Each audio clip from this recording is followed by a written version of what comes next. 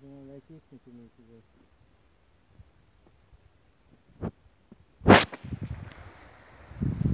Ну так вот, конечно, прикольно. Я так понял, здесь бомжи живут.